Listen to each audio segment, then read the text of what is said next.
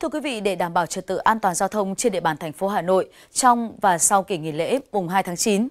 Thanh tra Sở Giao thông Vận tải đã xây dựng kế hoạch tập trung lực lượng ứng trực 24 trên 24 giờ, sẵn sàng thực hiện các nhiệm vụ được phân công, nhiệm vụ đột xuất, giải quyết các vấn đề liên quan đến trật tự an toàn giao thông.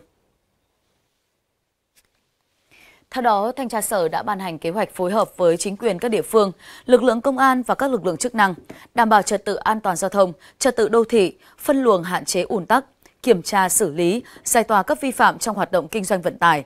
Bố trí lực lượng tại 59 vị trí, khu vực chốt trực thực hiện nhiệm vụ phân luồng, chống ùn tắc giao thông,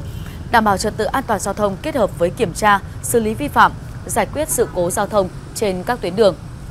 tại các vị trí thường xuyên xảy ra ùn tắc giao thông vào giờ cao điểm, bố trí lực lượng tại 41 vị trí có nguy cơ xảy ra ùn giao thông.